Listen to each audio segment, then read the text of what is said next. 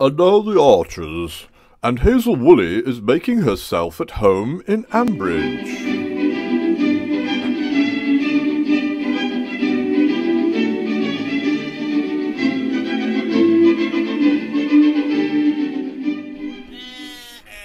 Tony, isn't it awful about poor Tom and that Welsh girl? You mean Natasha, my daughter-in-law? Yes, on the streets at Christmas, and her pregnant too.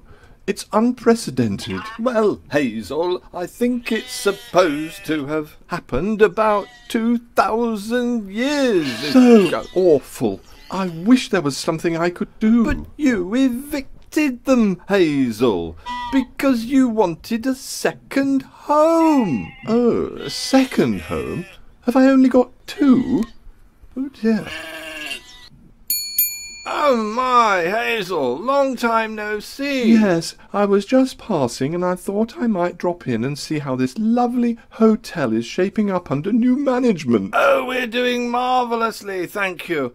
These are great times for the hospitality sector. That's just what I wanted to hear, Oliver. Well done. And I thought you most magnanimous in offering to hold the Grundy party. I remember evicting them once from Keeper's Cottage in the flood. Have they dried out? Well, they are pillars of the community. And that's what matters more than anything. But I do so love Grey Gables. It's always been my truest home. Well, we can find you a room, I'm sure. Oh, that won't be necessary. I'm taking Grey Gables back.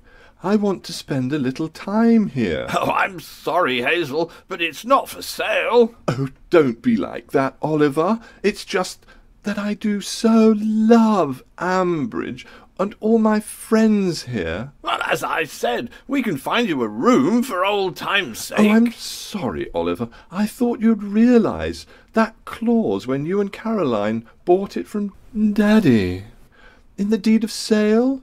If Grey Gables ever offered to host a party to celebrate the renewal of vows by any Grundy or Horrobin, then the hotel shall revert to the Woolley What family. nonsense! You can't just barge back in here, Hazel, making these ridiculous claims. So off you go, Oliver. My lawyers will be in touch. It's been so lovely chatting as old friends. And you were just passing, eh? Hello, Hazel. I'd heard you were back. You sound a little frosty, dear Elizabeth. I'm just here to see how you are. Really? You can see that I'm fine. Lower Loxley is such a beautiful country house, and I'm so proud to be connected with it. What? Oh, yes, Nigel and I talked often about the future of the hall and the estate. Yes, so did Nigel and I. Now, please, I have a ghost walk poetry treasure hunt murder mystery evening to organise. Oh, I wouldn't worry about that now. I shall be doing things very differently. I'm sorry. Oh, yes, I shall be taking over the running from next week, and I shall be moving in my things on Sunday. Out, Hazel. Out. Go on. Shoot. Oh, I Shoot. do hate to do this, Elizabeth, because we're such friends. But Nigel made me his sole beneficiary in that very last will he made when he was delirious in hospital after falling off the roof. I'm sorry, but Ambridge means so much to me. Um, what is this? I've never seen No, it. No, it's been with my lawyers, but I'm so glad we've been able to resolve this amicably. It's been so lovely seeing you, dear Elizabeth. So you just called in to see how I was? Welcome to the farm shop. Oh, it's you, Hazel. So you're the cheesemaker now, Helen? I've always enjoyed making cheese. You will have to give me your recipes and ingredients. Oh, I do love Ambridge cheese. Oh, what? Hello, Hazel. Doing your shopping? You could say that. Oh, Linda Snell was asking about you earlier. She wants you to be in her new play. Ah, where is it being performed? In the village hall, I expect. Oh, yes, I'd forgotten about that place. I do so like the village hall. I'll be back later.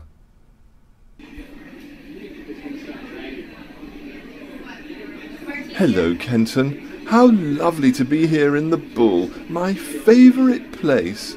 I do so love Ambridge. It's really my special, special home. Oh no, not you.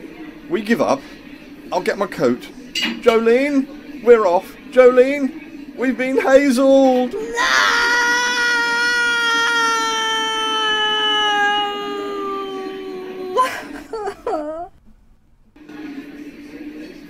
Hello, Hazel. Funny seeing you behind the bar. Where's Kenton and Jolene? They don't work here anymore, Alan. I've taken over. I really like running pubs. What? You just sacked them? Well, they had no real right to be here. Well, that's not a very Christian thing to do, Hazel. Funny you should say that, Alan. I've always thought Ambridge has such a lovely church. I really do like churches. Tomorrow on The Archers, Hazel visits David, Linda, Justin, Lilian, Brian, Eddie, Harrison, Neil, Jim, and Shula.